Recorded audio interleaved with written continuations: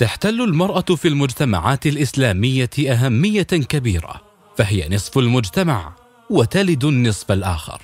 ولقد أولت الشريعة وأعطت المرأة مكانة كبيرة ومنحتها المزايا والخصال الكثيرة رفعة لشأنها.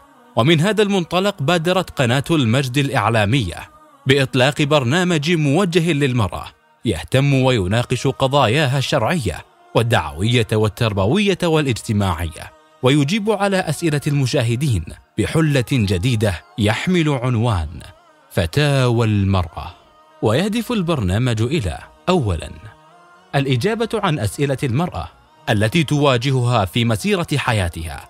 ثانيا يناقش بعض قضايا المرأة في النواحي الإيمانية والتعبدية الدعوية والتربوية العمل والاقتصاد الاجتماعية والفكرية السلوك والأخلاق. ثالثا يتيح المزيد من الفرص للمشاركة النسائية في برامج قنوات المجد. وينهج البرنامج اسلوبا بحلة جديدة في طرح الأسئلة والقضايا. وطريقة البرنامج أن يطرح على الضيف موضوعا من القضايا التي يطلبها المشاهدون. وتناقش في بداية الحلقة. وبعدها يتم استقبال الاتصالات والاستفسارات. والبرنامج منكم وإليكم.